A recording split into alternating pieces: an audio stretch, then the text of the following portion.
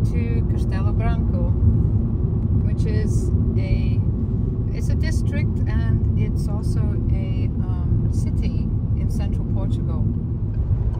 Well, we're coming into Castelo Branco, the city now. It's very spread out. And it's actually quite big, and um, it's got an old part, old area, which we're gonna go and look at that because that's always more interesting. And there's also a castle there. Look at the bird nest up there on that chimney. it's probably a stork. It could be a bird of prey. This is uh, some of the newer areas of Castelo Branco city. It's a nice sunny day. So here we are. Just kind of going uphill towards the castle area. See some of these new buildings. That's a hotel there on the left. Oh, here we are. We've arrived outside the castle area. Um, we got to walk to it.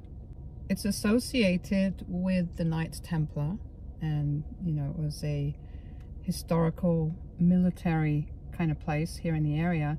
And it was built on a hill and this hill used to be um, uh, settled by the Romans. So it goes back a long way you know and the city kind of grew up you know from from the area from this hill. And within the castle area there's also actually a church. It's called the church of santa maria. So anyway let's go and explore it a little bit and perhaps find out some more about it Okay, here we are. You can see Castelo Branco in the background. I have to wear my big hat because it's actually quite a hot day and the sun's a little bit hard on my skin so to get this huge hat. But anyway, there you go. You can kind of see it in the back. So spread out and we're up here on the hill which is the site of the original Roman settlement. And we're actually headed towards the um, church area now. And then the castle, hopefully, in the back somewhere. I don't even know where it is. It's somewhere around here. Okay, this is the church.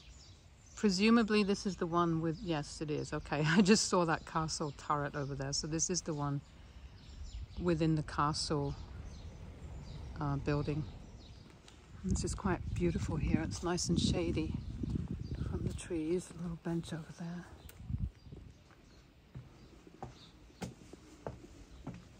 And it's just nice and cool here for some reason. I guess because of the trees there and because it's kind of on a hill. That's just part of the church, I guess. And here we are, you can see the castle walls. There are a few people here.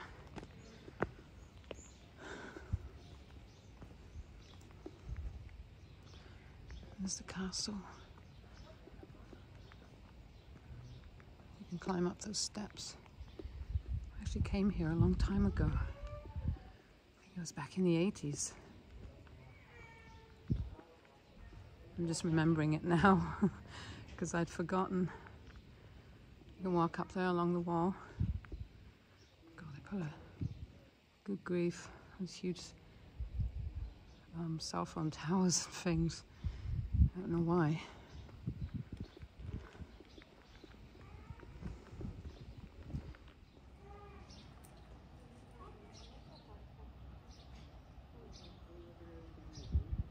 And here are some of the views. Try and get a little bit closer. Yeah, there's a little hill up there and we're gonna have to see if we can find out what that is. And there's the uh, city, the castle up here overlooking it.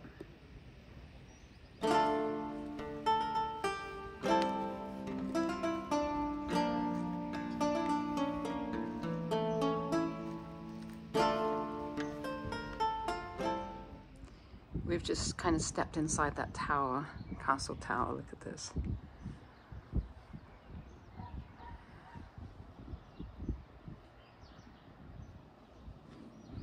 There's this amazing window here, sort of a church style window. And as you look through it, look at this. An even more amazing view of the city right here from the castle. The city and beyond.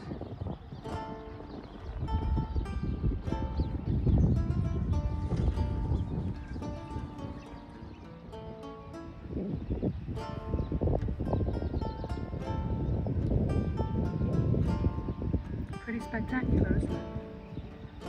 Views. Here you can kind of see some of the older parts of the town down there where, where that clock tower in the center of the film is. You can see a few older homes and things there, buildings, and then a cathedral. And then there is oh, over there, I'm not sure what that, if that's a convent and that's something we're gonna have to probably look into. Oh, Almost looks like a convent. So it's got quite a bit of history and but not much is actually known about it uh, beyond the 1100s. So it's just kind of grown. It's grown from this hill sort of outwards and just got bigger and bigger over the centuries. Now it's actually a very thriving city. Lots of restaurants, parks, old buildings and so on.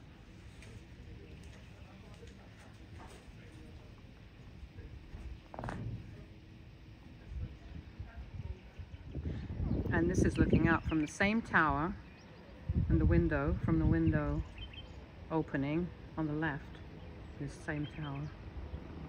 There's the view here with the mountain beyond. We're trying to go up to that tower behind me. That's like the second one. But there's some uh, people there, some guys, kids or whatever, I don't know, hanging out, laughing and stuff. There's not much space up there, so. okay, I think we're finally going to get a chance to go in there. Those guys have gone. We've got these um, metal steps going up with a load of graffiti on the sides.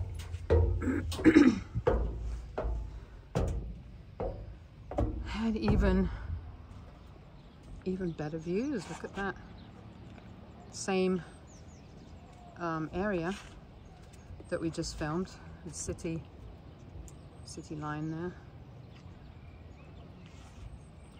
And this just shows you a little bit more of the buildings here and the ruins.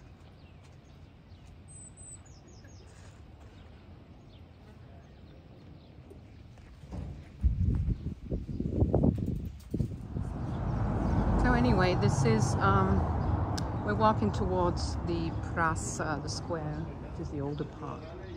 And I'm just kind of trying to find it. Look at this, you can see part of the old walls here.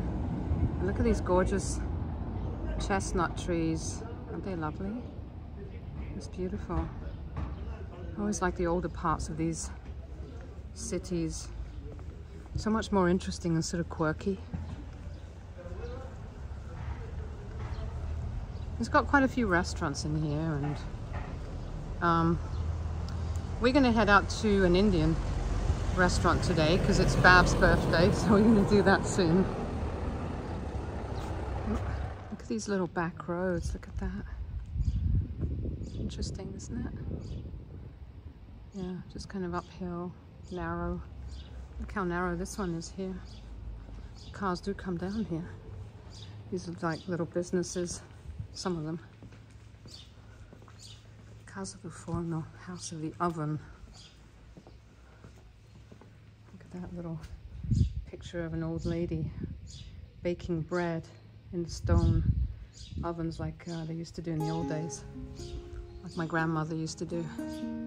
I used to watch her doing that and it was really amazing, but a lot of hard work. this is cute, look at this. Place up there for sale. Probably needs quite a bit of work too, I would imagine.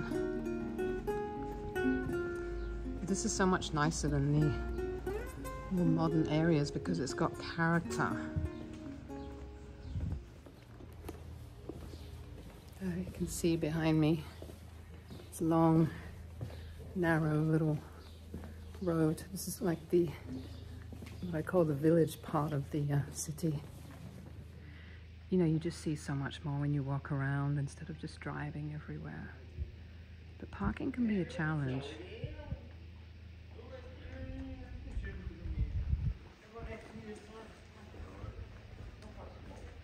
There's this place, the center of artistic something. We've got ballet and stuff here. For children and adults. Nice little art community center. Unfortunately, as you can see, cars do go through here and they go pretty fast along these narrow roads, which is ridiculous. To be honest, they shouldn't really be allowed to come through these very narrow roads. But that's something somebody else needs to do something about. Okay, we're in the kind of a central plaza area here, some of the old buildings. They're now being used as various things like government offices, community centers, or things like that. Um, art galleries. Something over there, I don't know if that's an art gallery colors of the world, Cores do Mundo. So this is really sweet. There's a little map here that I guess tells you all the different places to go. And again, the sad thing is that unlike unlike Venice in Italy, cars just kind of get everywhere here, which is a bit sad, but oh well. So you've always got to be looking out for traffic. Look at that street up there. See the castle where we were, right at the top there, that window? That's where we were. That's so cool. There's a museum to the left somewhere. What's that? so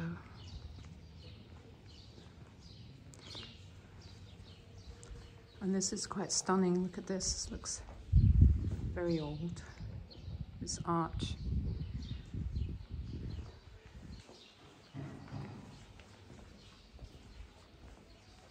there's an old sign up there that says the Arch of the Bishop Road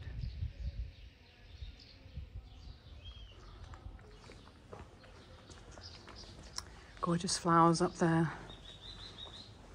Everywhere you go, you can smell the flowers.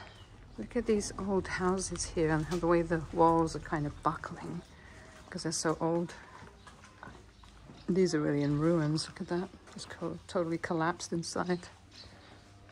I just want to capture this old door of this old building. Look at that. It's pretty interesting, isn't it?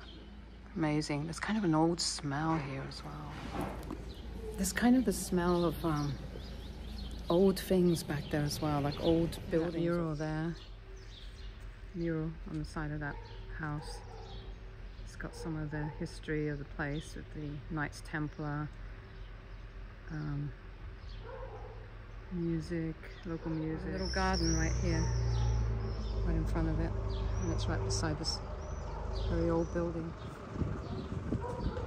I don't see too many people around. I don't know. Where is everybody? It's not that hot today. Not anymore anyway. It was earlier. It cooled down a little bit because the clouds came.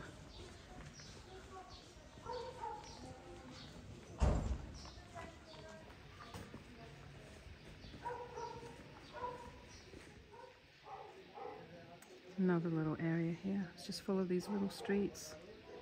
That's where we just came from here. All these old things, old walls. Look at the fig tree up there. Beautiful. It's got some nice figs on it already. Look at that. They're not ripe yet. They will be soon. You got probably get a lot of sun there at the top. Anyway, I think this, where does this go? Kind of goes down this little road, but we're not sure where this goes, so I think we're gonna kind of turn back and go back the same way. Yeah, this goes over there. I just want to show the uh, um, swallow. I think there's swallow nests up there. Look at that. It's lovely. I think the sparrows are using it too. I just saw a sparrow coming out. Sweet. I'm glad they haven't taken them off.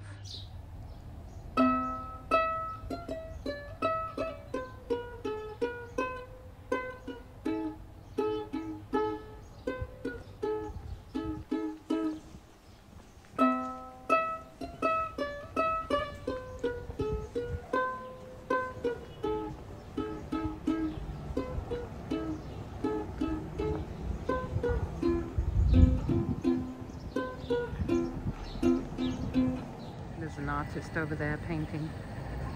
Just kind of painting the square here.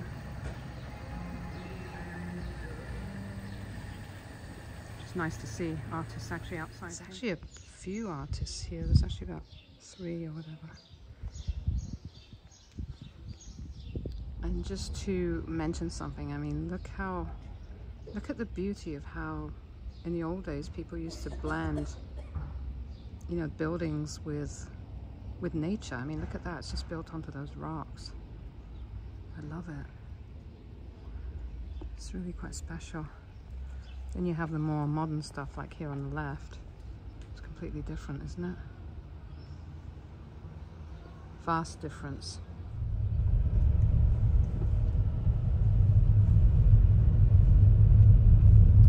Oh, okay, this is some of the newer part of the city.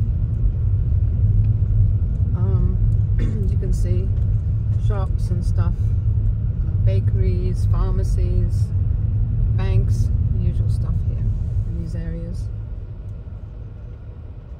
Not particularly interesting, but you know, it's um, it's where you're going to find some of the things you need.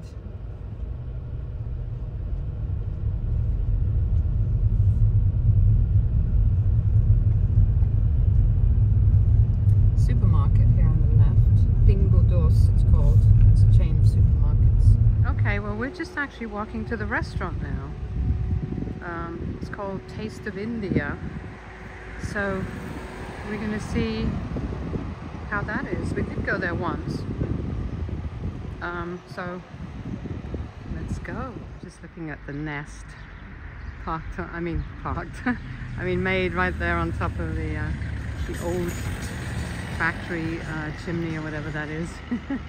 Well, unfortunately, it is closed. um, this is one of the problems we've run into here in Portugal a lot is that a lot of restaurants are only open for lunch and dinner, and dinner is usually starts around seven or whatever. Okay, we're going back to the Indian restaurant because they just saw us and they said they're open, so, so I guess they've bent the rules a little bit, so let's go. Well, here we are in the Indian restaurant. It's got some nice paintings. No, you can't really see that. Um, so it's kind of nice. It's just us and another couple, but um, we managed to get in. So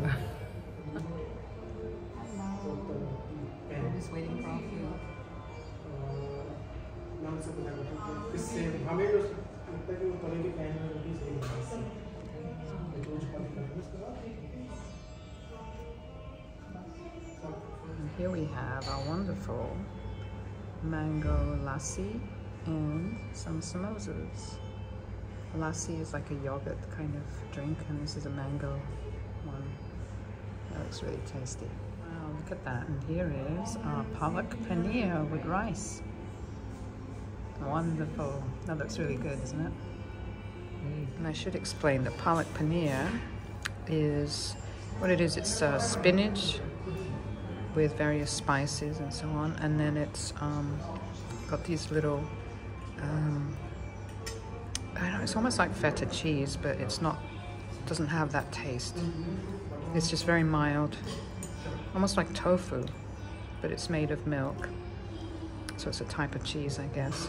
So that's what the white pieces in there are. And it's absolutely delicious. Well, that was actually quite a nice meal, the palak paneer. Um, as I explained what it is, it's spinach with a kind of, normally it's like a, a kind of Indian cheese sort of thing, and it's kind of bland tasting, but when you have it in mixed in with anything else, like the, you know, the spinach combination of, and sauce and stuff, it's actually really nice.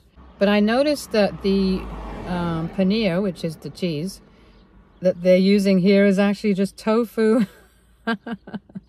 so I'm assuming that they can't find it here easily. So um, maybe they can't make it. I don't know why. Maybe it's not cost effective. So they use tofu instead. But that was actually quite nice anyway. Um, very tasty indeed. And the samosas weren't that great. Um, they tasted like they'd been frozen and then, you know, recooked or whatever. But anyway, it's it's kind of a nice place. It was quiet and they let us in, which is great. So we actually got to, to eat something. So I think we're gonna head back now. And it's a Saturday afternoon and it's, uh, there's not many people around. Like, where is everybody? It's like these Portuguese towns and cities are uh, deserted. Um, compared to places where I've been anyway in other parts of the world. But um, I expect it gets a little bit busier as the the um, tourists start to come, and you know the the um, immigrants, uh, Portuguese who emigrated away, and then they come back for the summer on their vacations. So that's probably what it is. But at the moment, it's just so quiet. It's unbelievable. So anyway, we're heading back. So see you next time. Bye.